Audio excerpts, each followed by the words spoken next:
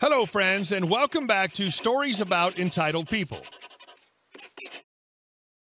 Today, we have three brand new stories for you, starting with a short one about a lawsuit between a husband and a wife. But before we begin, don't forget to subscribe to our channel if you're new here and turn on notifications so you don't miss a new video every single day. Here we go. Don't ever get caught cussing out a female judge. On the advice of my attorney, I started recording all calls with my ex during the divorce process. Indiana, at least at the time, was a single party consent state, meaning only one person in the conversation had to know it was being recorded.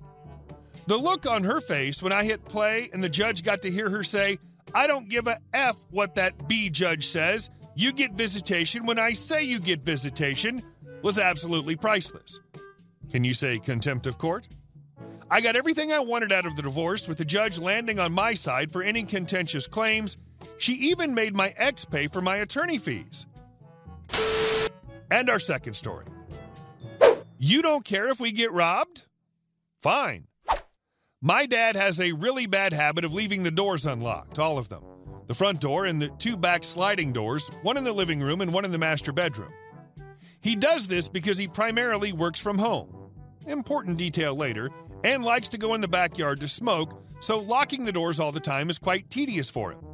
He leaves the house every now and again to replenish his cigarette supply or to get lunch, and he always leaves the doors unlocked. This triggered my anxiety as around the time we moved in, there had been a robbery at one of our neighbors' houses because they left the back door open for their dog and left the house real quick to pick up a child from school. They had been gone for 10 minutes, and when they returned, the mom's jewelry box and expensive watch had been stolen. So obviously, I wanted the doors to be locked, especially when no one was home, even for a moment.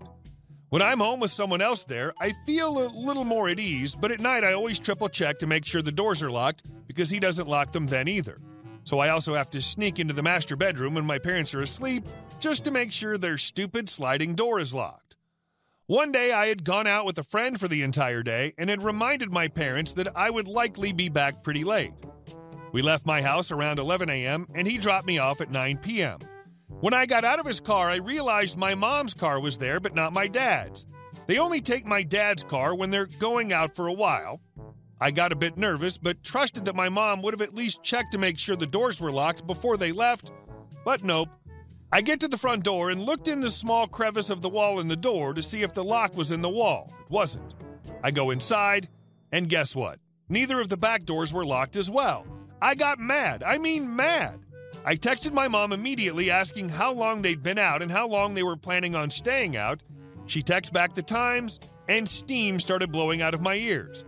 They'd been gone since 2 p.m. and were not likely to come back till near midnight. The house could have been completely stripped of literally all of our belongings in that amount of time. I call her and start shouting that I'd just gotten home and all the effing doors were unlocked. She panics in response and asks if anything is out of place. After a quick run through the house, I deduce that nothing seemed to have been taken, so no one must have noticed. She sighs in relief and says that she asked my dad to lock all the doors before they left, and she would talk with him about it now.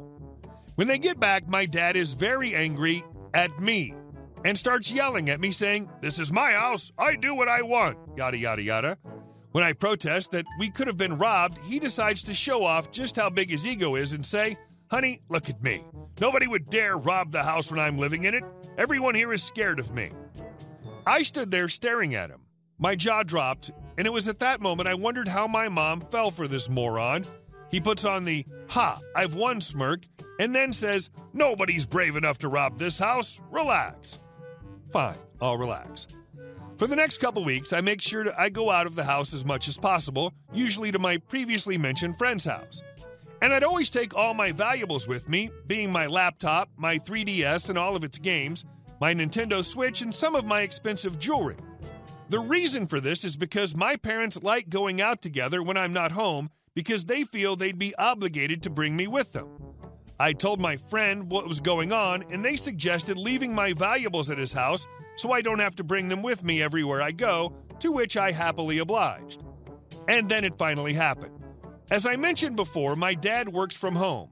His office, it's just a large desk with two laptops and two monitors, was in the living room near the sliding door. His work was primarily done on a laptop that cost well over $900. He'd tweaked and added some things to it to make it even better than it was previously. I'm not very tech savvy, so I'm not 100% sure what exactly he did to improve it. The other laptop was about $500, which he used mostly for personal stuff.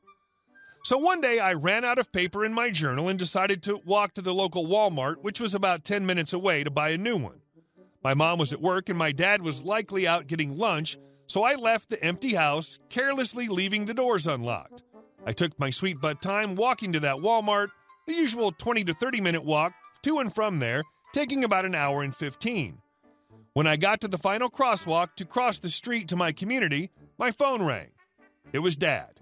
He's in a panic, saying he couldn't find his laptops. They weren't on his desk or in his bags or anywhere else he could have left them. He asked me if I'd seen them. I tell him, I saw them on your desk before I left. Are you sure they're not there? After a long pause, he asked me where I am, and I told him I was walking back from Walmart. He didn't know that I'd taken the scenic route back home, so he thought that in the span of 20 or so minutes, someone had come into the house and unplugged both his laptops from the monitors, taking them, the chargers, and his spare cash in one of the drawers. When I got home, he'd gone to our neighbors' houses asking if they'd seen anyone go into the house. All but one said no. That one told him they'd seen a man enter the house through the sliding door to the living room and leave, but she thought it was my dad since she'd seen him frequently leaving the house through the back doors when he goes out, especially during the past few weeks. My dad looked like half of his soul had been sucked out of his body by Satan himself when he found this out and came back, and it was lots of fun watching him explain to my mom why his laptops, spare cash, and my mom's iPad were missing. Some calls to the police were made. The neighbor described what the man was wearing to the police, and after the police questioned some other neighbors, one that lived close by to the gate had said they clearly saw a man with the clothes described walking out of the community with a large bag. After about two weeks of searching, the police found the man and he was arrested. The laptops and my mom's iPad were returned, but my dad's personal laptop had been factory reset, the iPad screen was cracked, and the money was gone. The doors always stayed locked after that. And our last story Say goodbye to your money. I used to manage a convenience store, and we hired this woman. Let's call her Evil Whore, or EW for short. EW looked good on paper, but she was not a nice person. EW worked mornings with a lady I will call Anne. Anne's son John worked afternoons with me. One day, John told his mom something rather surprising, and his mom, shocked, confided in EW. By the end of the week, EW had outed John to the rest of the staff and embellished how Anne found out to include her walking in on John and another guy.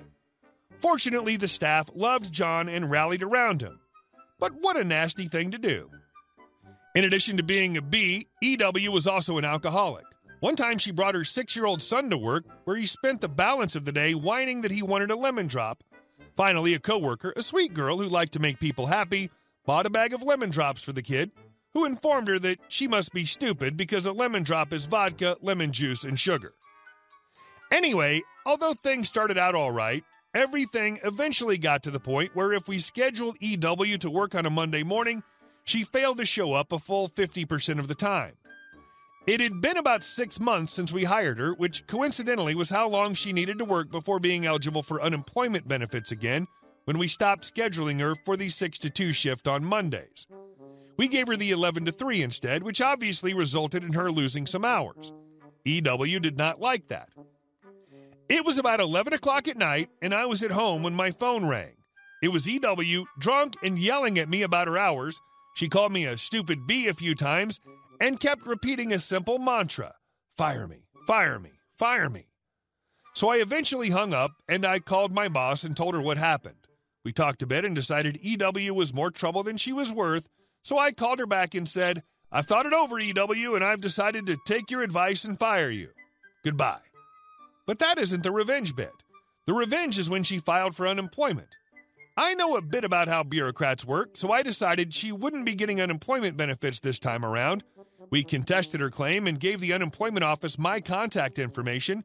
When they called, they asked me why I'd let her go. It went something like this Unemployment guy. EW says you cut her hours. Can you explain why this happened? Me. Well, EW does a good job when she's there, but unfortunately, I think she has an alcohol problem.